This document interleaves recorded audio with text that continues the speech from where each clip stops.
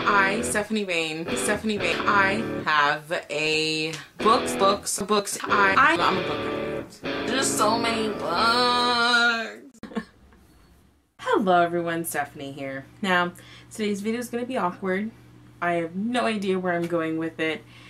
And like, I didn't plan for it. I just thought it would be a really fun idea to just talk about how excited I am about the release of my favorite series, last book, which is Red Rising, my favorite series. And Morning Star is the last book that's coming out, written by Pierce Brown. So I came across Red Rising at Walmart randomly looking for a new book to read. And I saw the cover and I was like, ooh, I like that whole like red wing thing going on. What's this about? You know, like, what are you about? I mean, seriously, that's like really that's an eye catcher. It was for me. I like the font and all that stuff. And I saw it and then I read the back, which is actually an extremely short synopsis on the back of the freaking paperback. And I was like, you know, whatever. I don't know. I'm not sure. And then it's really funny though because I was like, no, why didn't I get it? I left Walmart and I was like, I should have gotten the book. Something about it was just really calling my attention. I need to go back to Walmart. I need to get it.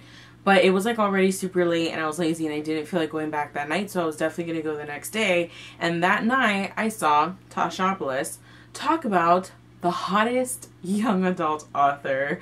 And she was just making a video about Pierce Brown and how gorgeous he is yada yada yada. And I was like oh my god I was just thinking like I was gonna buy that book today and I totally didn't. And then her talking about what the book was about because she kind of briefly talked about it I don't remember exactly. And I was like oh my god I definitely have to go back. So that just assured me I seriously needed to go back. Got the book I think I was, I don't remember what I was reading at the time, but I finished that book and started reading Red Rising like immediately. All the other books on my TBR were like, F it. I started reading it. And within the first like 20 pages, I was already like, I was gone. I was a goner. I was sucked into the world, Mars, and all this terraforming and just everything you guys may not know this about me, but my one of my like top five absolute favorite films ever is Total Recall. Like the original with Arnold Schwarzenegger on Mars, not like on the other side of the earth. But like I absolutely love that movie. I've seen it a million times. It's my not guilty pleasure. Like it's just one of my favorite movies. So seeing this and like I had images of like underground, the part where you know the girl has like third tits, like you know down there with like all the other people slumming it. Um, that's like what I imagined. Just like instead of with deformed people, like people with red hair and like slightly red skin and all these other things and I was just really able to visualize everything and I immediately fell in love with the character that Darrow is, you know yes, he's a 16 year old boy, but what really stood out to me is this is a 16 year old boy who handles himself like a man. But I mean, I understand in his world, he is considered a man. At 16, you are a man. You get married, you start your family, you have your job. Like, it's very different. It's kind of like how it was way back in the olden days here in the place we called Earth. You know, everyone married very young and stuff like that. So I think that's just something that right off the bat really caught my attention because it was different. Darrow is such an amazing character and that's probably the, like the bait like the reason why I love it so much is because of Darrow. Throughout the whole book, he's put through a lot of things. I'm not going to spoil anything for you. And he's just put through a lot of stuff. He wants to, um, you know, like, he wants to do things for his people, for himself, for Eo, and for all these things. And he grows from everything that he does for them and then in turn ends up being for himself and he's just very like I made a mistake. How can I fix it? or this isn't how it's supposed to be. How can I fix it? He's not like one of those typical you know protagonists in a book where oh everything I do is perfectly fine and even though I fucked it up it's gonna be alright even though no one's gonna do anything about it and then it's just magically gonna be okay.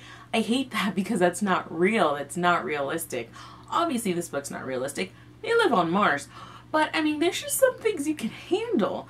And then on top of that, I like the lingo in the book. I like the way the world is developed for you. You have these like little moments of like information dumping and like world building dumping. But then as you keep going, it's all explained slowly but surely. So it's like, okay, you got everything in one shot right now. You're going to get that information. Here's another dump. You're going to get more information. I actually really like that as opposed to I, I don't like slow building. And then if it's just too much too quickly, you're just like, whoa, I just, I'm so confused and that didn't happen with that. So the pace of it and everything was just super up my alley, and I just really enjoyed it. And the thing is, the character interactions throughout the book are so good, like Darrow and Sevro and like Darrow and like just like all of these people, and like things happen that you're not expecting to happen, and there's a lot of plot twists. This is probably one of the only or very few series where as things are happening, I've never been able to really like guess and be 100% correct. I might have like one part, and by one part I mean like 1% of the entire plot twist or whatever was going to happen correct, and the rest of the 99% was like, what? I was not expecting that. You know, like there's very few things that I've been able to predict, and I hate like it's nice to be able to predict and be like oh i knew it was right but at the same time it's nice to not know what's coming because then if not, it takes away the fun out of reading.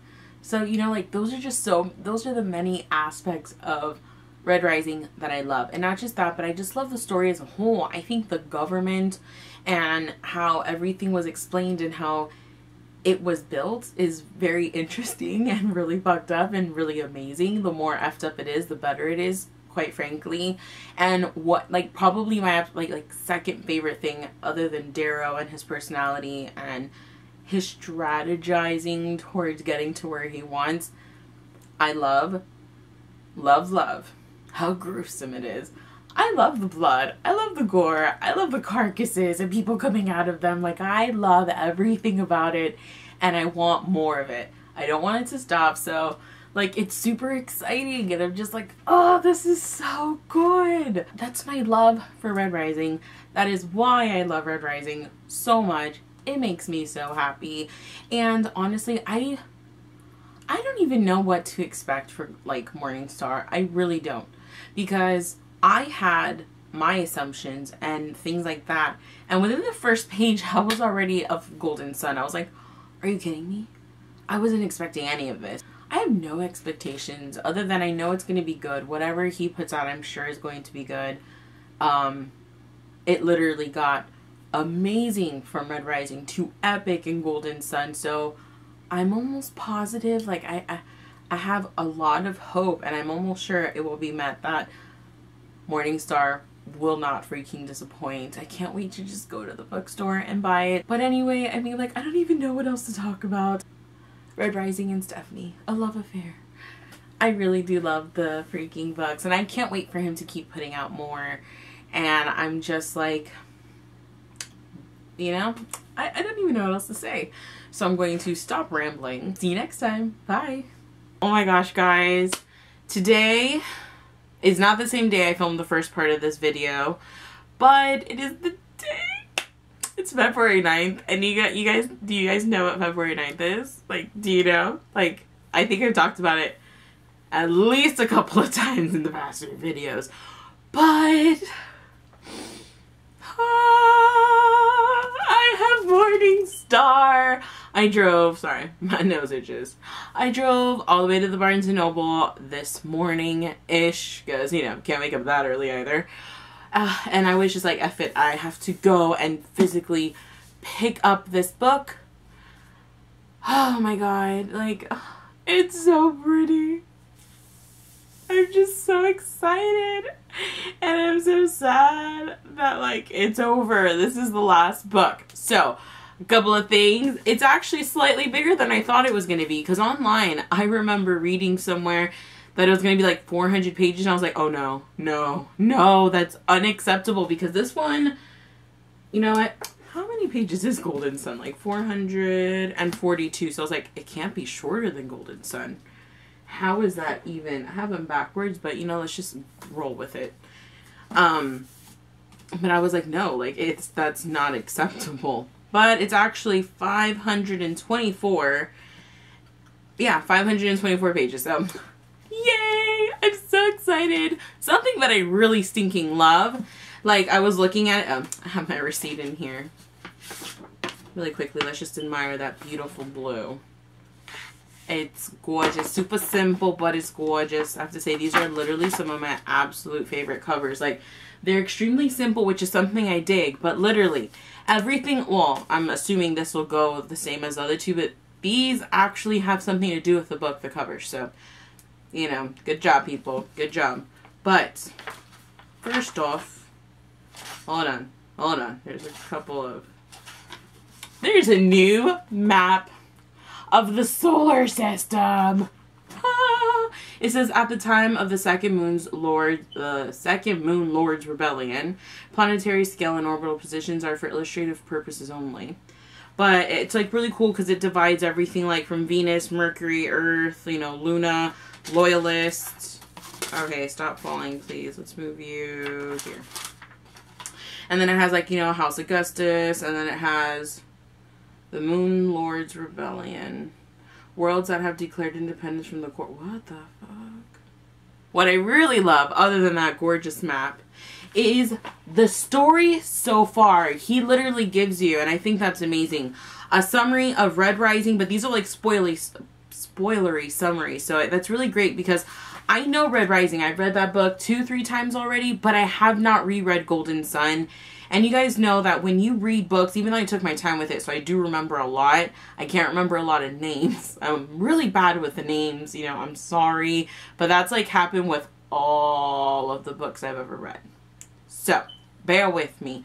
But I'm actually really excited that he did that because this gives us a nice recap of what happened in the last books and I'm just super excited because you know I I was a little upset with myself that I did not reread at least Golden Son, but I wouldn't have had time because I well I would have had time if I hadn't reread Pride, Prejudice, and Zombies. But let's ignore that I did that, which I really enjoyed by the way. More about that in uh, my review coming up in a couple of days.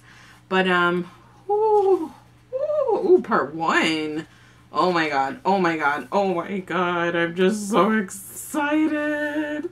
So I am extremely appreciative of the what happened so far, the story so far.